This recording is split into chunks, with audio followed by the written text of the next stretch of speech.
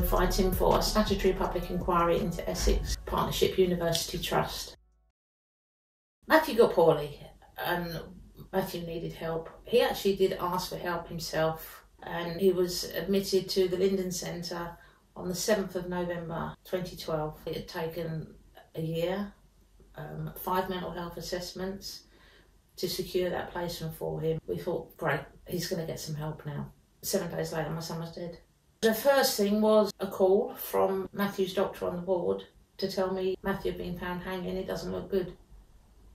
That was the first lie. He'd been dead over an hour when the doctor made that call. Day three of his admission, Matthew had called his father and said that he'd been drugged and raped. I called the ward. I was advised that Matthew was in art class, it's part of his delusion. Come in on the Friday, him time to settle on the ward. So I never got to see him alive again. The post mortem was carried out.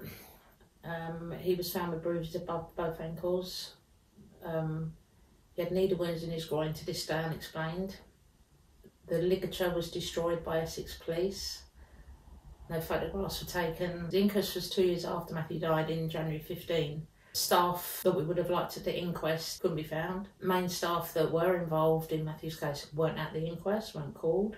It was left as an open narrative, so they couldn't prove suicide. I then went to the Parliamentary Health Ombudsman, um, who then carried out an investigation. Someone else went through the medical records.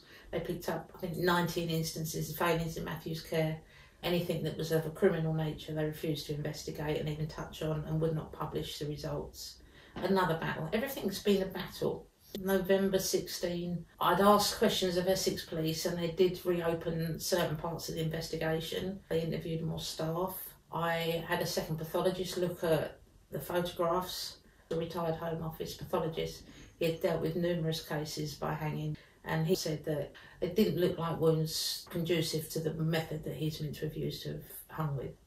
But without the ligature, it would have been hard to have any arguments get the case reopened. So again, we hit another brick wall.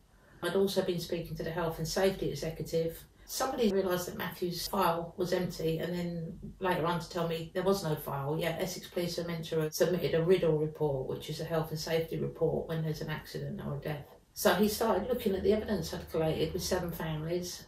Four and a half years later, there was a prosecution. The trust pleaded guilty to the causation of 11 deaths, Matthews included. A fine ensued of 1.5 million. but nothing because not one member of staff was held to account. And in fact, the person in charge of the estate's management, shortly after that case, was awarded an MBE. January 17, Essex Police started looking at corporate manslaughter.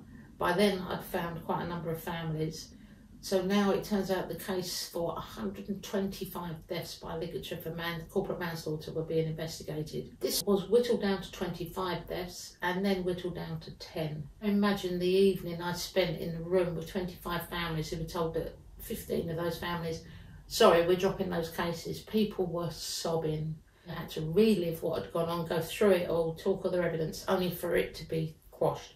And then the last 10, um, were also quashed. And then we're told at each opportunity changes have been made, lessons have been learned, staff have been trained, the wards are now safe, and then another patient dies by the same means. I started a petition calling for a public inquiry into Matthew's death.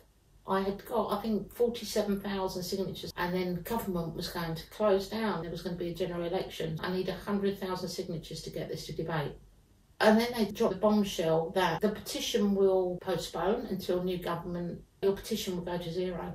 So this is on the Friday. I've got till Tuesday, November the 5th, midnight, to get enough signatures to get 100,000. Sunday morning, I woke up with a brainstorm. I designed banners, I designed leaflets, went to Downing Street, I put them up on the barriers there. I contacted all the press I knew.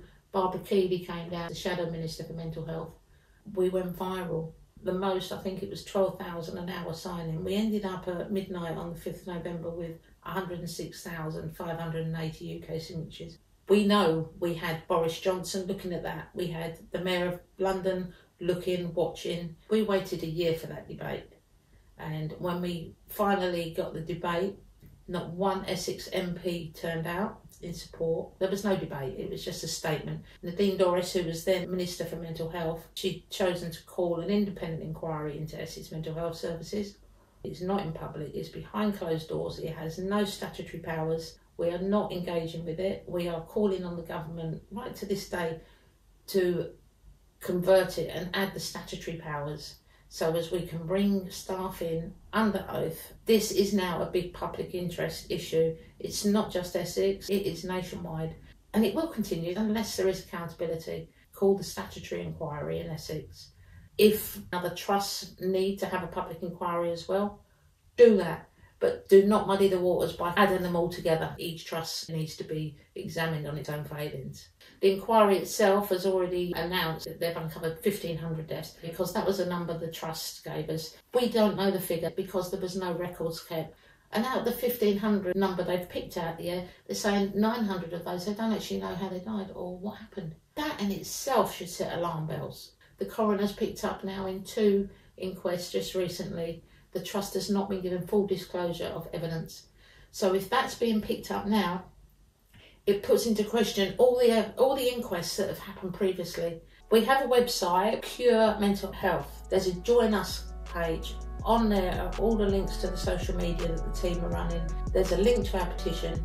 It's unfortunate we're having to do another petition, but we're doing it to raise awareness and we ask share that out. A lot of our stories are on there. Get involved with us, write to your MP, just get that message out.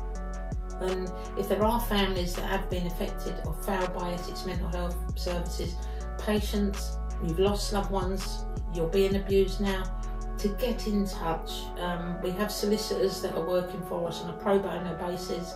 And this is, for me, 10 years down the line, Matthew's legacy. I refuse to allow his death to be in vain. And I think we have power in numbers.